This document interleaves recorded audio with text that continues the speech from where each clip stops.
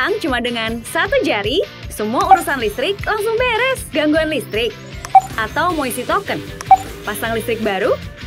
Atau mau ubah daya Atau cek hitungan listrik? Urusan listrik serahin aja ke PLN Mobile.